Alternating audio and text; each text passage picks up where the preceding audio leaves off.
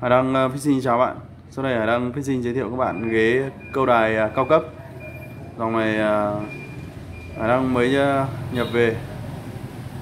Hải Đăng đang quay review tổng thể cho các bạn xem. Đây, bạn.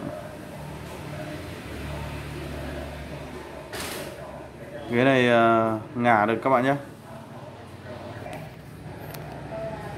Đây các bạn, chế độ ngả này các bạn Đấy, các bạn là nâng tay lên này. Đây nó có rãnh của nó đây nâng nâng nâng hạ này lên rồi nâng xuống các bạn đẩy ghế ra. Đấy.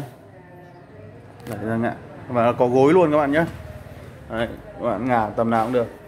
Còn các bạn uh, muốn uh, không uh, ngả đây các bạn uh, đẩy lên. À, tay này đẩy lên. Đây đẩy lên này. kéo này thôi cái tay này cũng đẩy lên. Đấy, ấn xuống tí là nó chắc luôn. Đấy, cố định luôn. À, được thiết kế phần chân này rất đặc biệt. Ví dụ đây đang à, bị à, thiếu một tí đây các bạn. Thiếu một chút đây. Các bạn có thể uh, bóp này. Nó nâng hạ được. Đấy, nâng cho bằng luôn. Và các bạn lẫy đây các bạn. Này, phần lệ đây các bạn nhé. Nó hãm này, đấy. Là nó bằng luôn không có kênh nữa.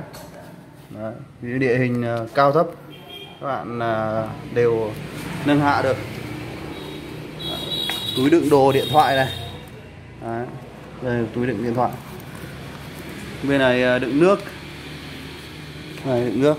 Và gồm bốn bát một à, cắm à, giỏ cá này và khay mồi. Đặc biệt nữa là ghế này các bạn à, mùa đông thì các bạn để nguyên thì các bạn nằm cho nó ấm lưng này. Đấy.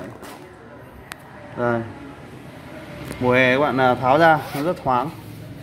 Đấy, mùa hè tháo ra nó thoáng lưng này không bị nóng. Đấy mà các bạn giặt được vệ sinh được. Đây. Nó xuống hẳn dưới này các bạn. Hai bên đều có khóa để tháo đấy. Đây là phần uh, trước các bạn. Mình sẽ à, review phần đằng sau đây. Sau xương này rất cứng các bạn nhé. Xương này là sơn uh, tĩnh điện. Này xương của nó này các bạn rất chắc. Tay uh, gối bằng nhựa này các bạn. Đấy, xương ờ, rất chắc. Đấy, bốn chân đều ờ, điều chỉnh được hết các bạn nhé